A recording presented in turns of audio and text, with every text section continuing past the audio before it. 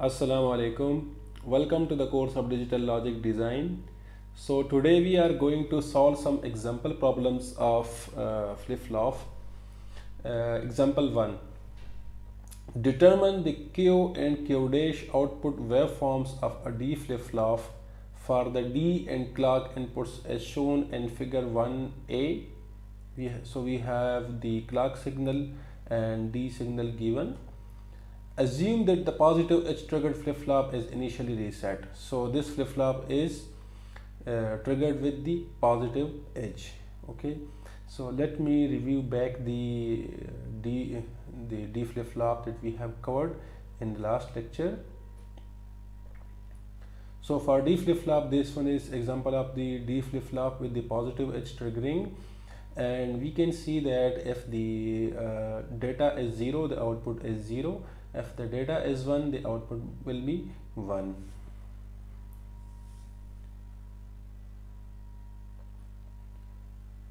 so the solution of this uh, example could be given as now as you know that a positive edge triggered D flip-flop can be only triggered with the rising edge. Or the positive edge? Okay so this one is the rising edge. Or the positive edge?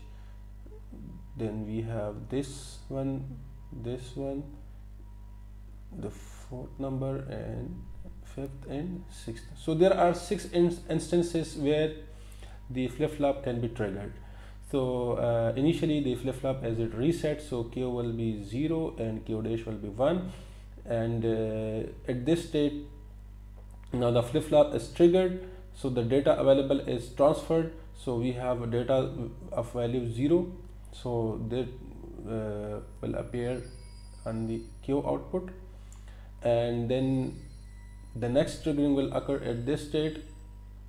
So then we again it is 0 so again it will be 0 and it will remain 0 unless the next uh, triggering occurs because there will be no change no change condition now at third pulse we have this positive edge. Now the data is high so the output q will be high. It will remain high unless the next triggering occurs. Then we have the next triggering the positive pulse. So now this time the data is zero so the output q will be zero. It will remain zero. And then we have the next pulse. So you have so here the data is high so it will remain high and will continue at sixth pulse because now the data is again high. The q dash output will be exactly opposite to this one okay? So by by flipping this signal we can uh, obtain waveform for the q dash okay? Example 2 the waveforms and figure 02a are applied to the jk and clock inputs is indicated so we have three waveforms, each is given for different input such as clock input, J and K input. So determine the Q output assuming the flip-flop is initially reset. So initial condition of the flip-flop is in reset and we have to determine the Q output of this flip-flop. So let's review back what we have studied in the JK flip-flop.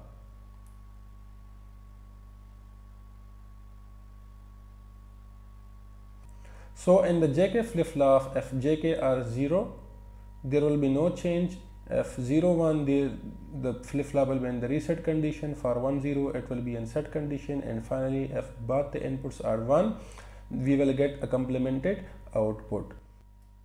So here I have given the Q output of a JK flip-flop.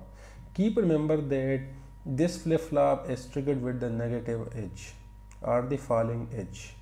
So here we have the clock signal the j is 1 k is uh, 1 initially it is in reset condition so the q output will be 0 then when the negative edge occurs now we have to see the value of j and k which is 1 so the, we will get a complemented output. Q will be 1 and q dash will be now 0 okay? Similarly, if uh, it will remain high because now we have a no change condition. Is there is no negative edge uh, up to this place okay? Now we have another negative edge so here we have the j is equal to 0 and k is equal to 0 so this state will be called a no change state. You can see it from its function table. That at j k is equal to 0 there will be no change in the previous condition. So finally at the third edge we have j is equal to 0 k is equal to 1 so at this state it will go into the reset condition. It will be uh, remain same until the next stage occurs. And at this state we have j is equal to 1 k is equal to 0 so it will be now be in the set condition and it will continue until the next waveform. Okay so it, the property remains same so up till the next waveform the, it continues. Okay? If you have still any confusions write in the comment section. Thank you